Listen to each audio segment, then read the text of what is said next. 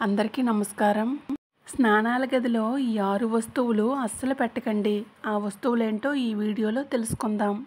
స్నానాల గదిలో లేదా బాత్రూంలో ఈ ఆరు వస్తువులు అస్సలు పెట్టకండి. అప్పుడు లక్ష్మీదేవి మీ ఇంటికి రాదు. వచ్చిన వెంటనే వెళ్ళిపోతుంది. విపరీతమైన పేదరికాన్ని అనుభవిస్తారు అని పండితులు చెప్తూ ఉన్నారు. మన గృహంలో పూజా మందిరాన్ని ఎంత శుభ్రంగా ఉంచుకుంటామో వంటగదిని ఎంత శుభ్రంగా ఉంచుకుంటామో స్నానపు గదిని కూడా అంతే శుభ్రంగా ఉంచుకోవాలి. ఎందుకంటే స్నానాల గదిని చంద్రస్థానం అని పిలుస్తూ ఉంటారు. స్నానాల గదికి కూడా మన శాస్త్రంలో చాలా ప్రాముఖ్యత ఉంది. ఎవరైనా సరే వాస్తుశాస్త్రాన్ని అనుసరించే స్నానాల గదిని నిర్మించుకుంటూ ఉంటారు. వాస్తుశాస్త్రం మన జీవితంలో ఒక ముఖ్య భాగం. ఇల్లు కట్టిన సమయం మన పెద్దలు చెప్పిన వాస్తు నియమాలు పాటించి కడితే ఆ ఇంట్లో ఆనందము సిరి సంపదలు ఆరోగ్యం వెళ్ళి విరుస్తాయి.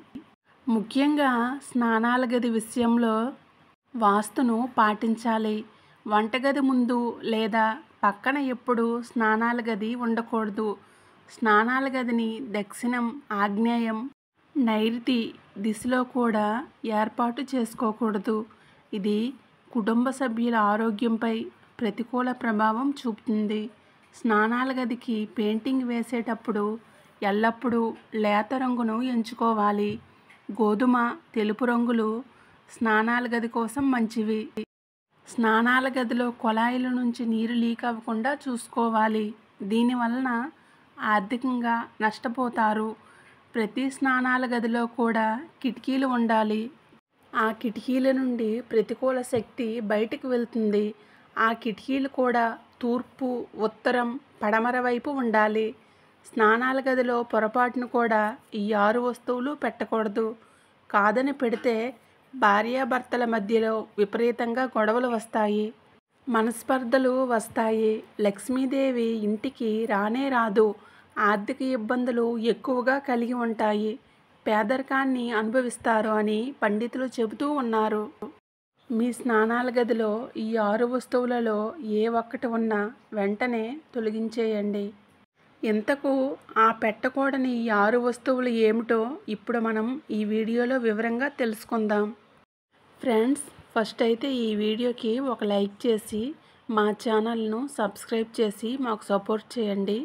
ముందుగా స్నానాల గదిలో ఉండాల్సిన మొదటి వస్తువు ఏమిటి అంటే పగిలిన అద్దం ఎల్లప్పుడూ కూడా పగిలిన అద్దాన్ని స్నానాల గదిలో ఉంచకూడదు. ఇంట్లో కూడా ఉంచకూడదు. అలా చాలామంది పగిలిన చిన్న అద్దం ఇంట్లో ఉంటే స్నానాల గదిలో యూజ్ చేస్తూ ఉంటారు. అలా వాడకూడదు. పగిలిన అద్దాలను పడేయాలి. పగలని అద్దాలని మాత్రమే వినియోగించాలి. లేదంటే లక్ష్మీదేవి వెళ్ళిపోతుంది. పేదరికంలోనికి వెళ్ళిపోతారు. కాబట్టి మీ బాత్రూంలో పగిలిపోయిన అద్దాలు ఉంటే తీసి వెంటనే బయటపడేయండి. చాలామంది పగిలిన అద్దాల్లోనే ముఖాలు చూసుకుంటూ ఉంటారు. అలా చూసుకోవడం వలన ఆర్థిక ఇబ్బందులు విపరీతంగా కలుగుతాయి. భార్యాభర్తల మధ్యలో మనస్పర్ధలు వస్తాయి. ఒక ఇరవై రూపాయలు పెడితే మంచి అర్థం వచ్చేస్తుంది. మనం ఎన్నో డబ్బులను వృధాగా ఖర్చు చేసేస్తూ ఉంటాం. ఒక చిన్న అద్దం కొనుక్కోండి. దాన్ని స్నానాల గదిలో పెట్టుకొని వాడుకోండి.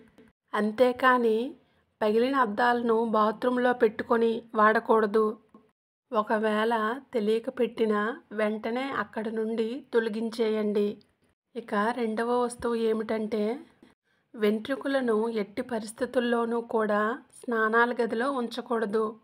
కొంతమంది ఆడవారు తలదువ్వినప్పుడు జుట్టు రాలుతుంది కదా ఆ జుట్టునంతా దాచి ఒకే చోట దాచుకుంటారు. ఆ జుట్టును అమ్మితే చిన్న చిన్న వస్తువులు కానీ డబ్బులు కానీ ఇస్తారు.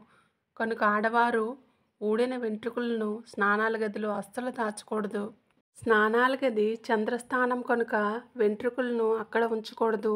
ఒకవేళ వెంట్రుకలను అమ్మడానికి దాచుకుంటే వేరే ఎక్కడైనా పెట్టుకోండి కానీ స్నానాల గదిలో పెట్టకూడదు. స్నానాల గదిలో వెంట్రుకలు పడిన వెంటనే తీసేసుకొని క్లీన్ చేసుకోవాలి. ఇక మూడవ వస్తువు ఇక కట్టుకున్న మలిన వస్త్ర బట్టలను స్నానాల గదిలో ఎక్కువ రోజులు ఉంచకూడదు. ఎప్పటికప్పుడు తీసివేయాలి. కొంతమంది మగవారు టవల్ చుట్టుకొని స్నానం చేస్తూ ఉంటారు. స్నానం అయిపోయాక ఆ టవల్ని అక్కడే విప్పేసి వదిలేస్తూ ఉంటారు. ఆ తడి వస్త్రం తీయరు.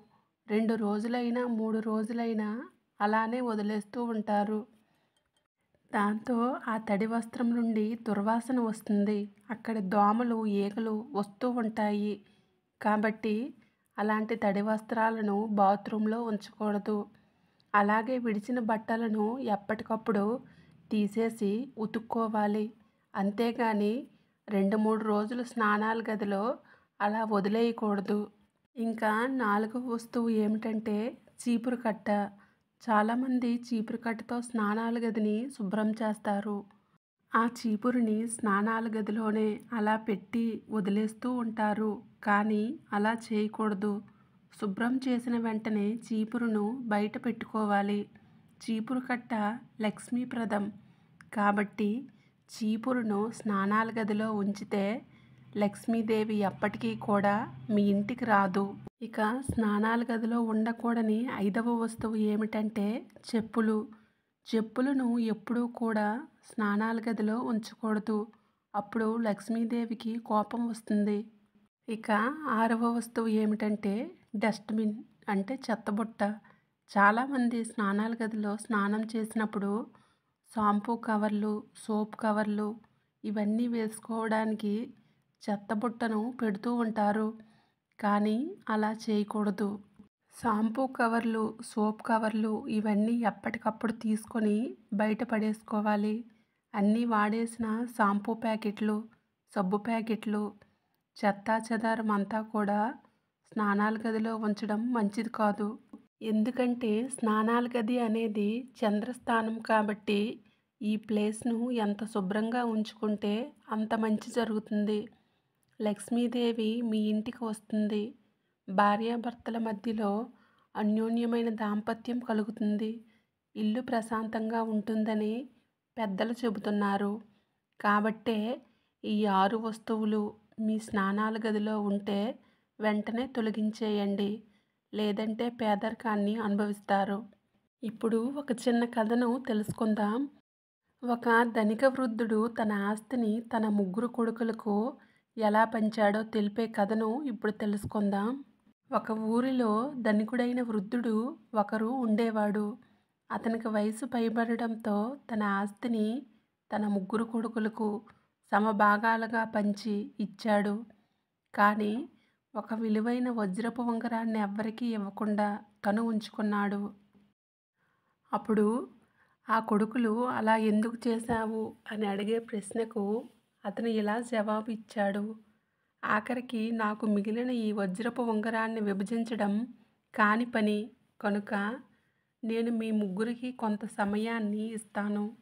ఈ సమయంలో మీరు ముగ్గురు మూడు దిక్కులకు వెళ్ళి మంచి పనులు చేయండి. ఆ ముగ్గురు కొడుకుల్లో ఎవరు నిజమైన మానవతావాదో కనుక్కున్నాకే ఈ వజ్రపు ఉంగరం వారికే దక్కుతుంది అని ఆ ధనికుడు అన్నాడు. ఆ తర్వాత ముగ్గురు కొడుకులు మూడు దిక్కులలో వెళ్ళారు. తరువాత కాలం అతి వేగంగా సాగిపోయింది. అతను నిర్ధారించిన సమయం ఆసన్నమైంది. ముగ్గురు అన్నదమ్ములు తండ్రి ఇంటికి తిరిగి వచ్చారు. ఒక్కొక్కరు తమ మానవతా చర్యలను చెప్పుకోసాగారు. వారిలో జ్యేష్ఠుడు ఇలా మొదలుపెట్టాడు. నాన్న విను.